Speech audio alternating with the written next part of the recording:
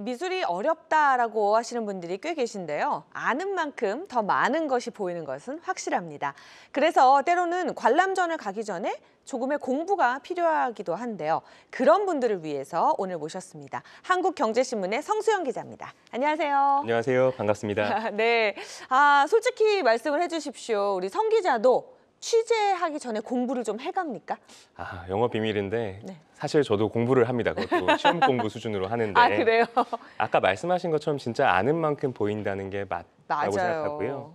또 특히 현대미술 전시는 이제 공부 없이 보면 좀 아쉽고 오. 아니면 뭐 심지어 대체 이게 뭔가 음. 이렇게 생각이 들 때도 있죠. 근데 오늘 소개해드릴 전시는 단숨에 마음을 사로잡을 만큼 굉장히 쉽고 매력적인 전시입니다. 네. 바로 한국경제신문과 2448 아트스페이스가 공동 주최하는 미셸 들라크루아 벨 에포크 전입니다. 네, 뭐 지난해 연말이었습니다. 뭐 굉장히 뜨거웠어요. 왜냐하면 제가 직접 이 전시회 오프닝 때 갔었는데 인산인해를 이루어서 막 기다리는 사람들이 달팽이처럼 막 이렇게 줄을 지어서 기다리시더라고요. 어마어마한 인기를 끌었었거든요. 막 오픈런도 있었죠? 예, 평일에 오픈런이 벌어지는 건 예. 굉장히 드문데 그런 말씀하신 사태가 벌어지기도 했고요. 그리고 지금 오픈 한 40일이 좀 넘었는데 네. 누적 관람객이 8만 명 정도 됩니다. 네. 이 정도면 그 최근 열리는 전시 중에 가장 인기가 높다 이렇게 말씀드릴 수 있겠습니다. 이야, 어떻게 이렇게 소문을 듣고 다 오셨는지 사실 미술 전시 업계에서는 겨울이 비수기라고 하더라고요. 추우니까 아무래도 이렇게 많은 나들이 계획이 늘지는 않는데 이게 어찌 된 일입니까? 예, 정확히 말씀해 주셨는데요. 미술 그 전시 업계가 가장 싫어하는 계절이 겨울이거든요. 네. 그래서 대부분 좀 뭐 문을 닫고 좀 쉬어가거나 봄 전시 준비에 아. 몰두하는 경향이 있습니다. 예. 그런데 그 이번 전시는 그럼에도 불구하고 흥행 중인 거죠. 음, 흥행하는 이유가 분명히 있을 것 같네요. 미셸 들라크루아 어떤 분입니까? 예, 90세가 넘었지만은 붓을 놓지 않는 네. 그런 노장 작가고요. 파리에서 태어난 토박인데 이제 어린 시절을 파리에서 보냈고요. 어, 미대에서 그림 공부를 한 작가는 아니에요. 그런데 이 처음에는 아이들을 가르치는 선생님 일을 하다가 아. 그다음에 뭐 사설 아카데미 같은 데서 그림을 배우고 화가가 돼서 그림을 그리기 시작한 건 1970년대부터입니다. 좀 늦각이라고 볼 수 있는데 음, 그래서 화풍이 이제 미대를 나오지 않은 화가라서 그런지 좀 독특한 면이 있는데요. 아주 사실적이지는 않은데 또 정교하고 색채도 소박하면서 또 화사한 점도 있는 음. 그런 복잡하고 미묘한 매력이 있습니다. 아, 그렇군요.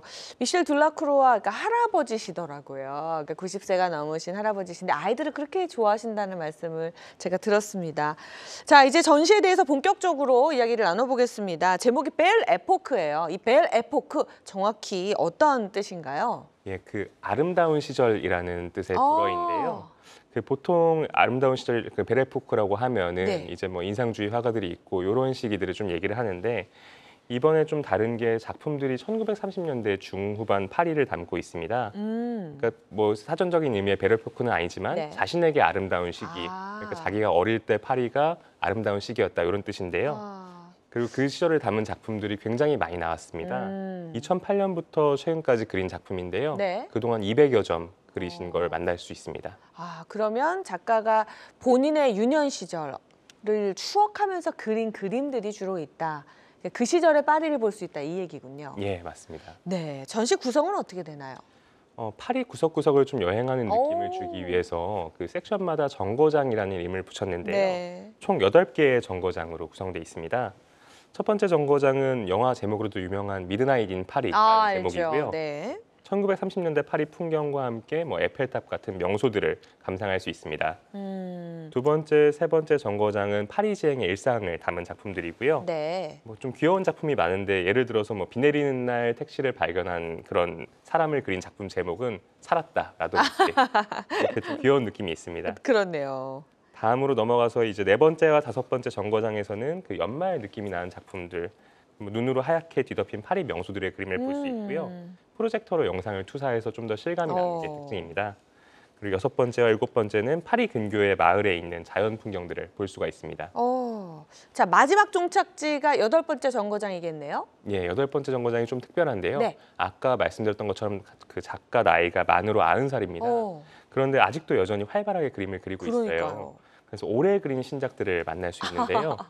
그 지금도 이 작가 깨어 있는 시간 대부분을 그림 그린 데 쏟고 아유. 또 뒷마당의 스튜디오까지 작품에 집중하기 위해서 새로 지었다고 합니다. 아유 대단하시네요. 또 이번 전시를 준비하시면서 특별히 한국 팬들을 위해서 많은 말씀을 해주셨다면서요. 예, 한국에 대해서 굉장히 각별한 감정을 갖고 계신데요. 음, 한국에서 제 인생 최고의 전시를 할 수 있게 와. 돼서 영광이다라고까지 말을 했고요. 네. 또 자기가 여러 긴 삶을 살면서 음, 슬픔을 많이 겪을 때도 항상 그림이 친구가 돼줬는데 자신처럼 이제 한국 관객들도 그림을 보고 위안을 얻었으면 좋겠다 이렇게 얘기를 했습니다. 그렇군요. 정말 작품 하나로 위안을 얻는다는 경험을 이번 전시에서 할 수 있지 않을까 싶은데 더욱더 많은 위안과 감동을 얻기 위한 꿀팁이 있을까요? 예, 전시장에서 작품들을 관람하시면서 좀 주목할 만한 것들이 있는데요. 네. 이번에 일단 향기입니다. 향기. 예, 실제 파리에 온 것 같은 느낌을 주기 위해서 전시장에 다양한 향기를 내- 놔도록 했는데요. 네. 앞쪽에서는 좀 약간 도시적인 향기가 나고 네. 뒤쪽에 자연을 중심으로 그린 그림에서는 숲의 향기가 나는데 어. 향기인 만큼 좀 어떻게 설명드리기가 쉽진 않고 그냥 가서 한번 맡아보시라고 말씀을 드리고 싶습니다. 야, 그러니까 시각뿐만 아니라 뭐 오감을 활용해서 후각까지도 활용을 하는 그런 전시가 되겠군요. 또 굿즈는 어떤 것들이 있을까요? 예, 그 엽서나 포스터 마그넷처럼 여러 가지로 종류가 준비가 돼 있는데요. 그림이 예쁜 만큼 엽서가 음, 가장 큰 인기입니다. 그렇군요. 2만 장 이상이 팔렸는데 거의 뭐 관람객 두세 명 중에 한 명이 엽서를 구입한 거니까요. 네. 그만큼 집에서도 즐기고 싶은 분들이 많은 것 같습니다. 네, 주민아트의 마지막 질문입니다. 미셀 들라크루와 벨 에포크전에 대한 우리 성 기자의 한줄 평은요? 예, 그 예쁘고 아기자기한 그림을 보고 행복해질 수 있는 전시 이 정도로 정리를 하겠습니다. 네, 그렇군요. 미셀 들라크루와 벨 에포크전. 오늘은 한국경제신문의 성수영 기자의 소개로 들어봤습니다. 고맙습니다. 고맙습니다.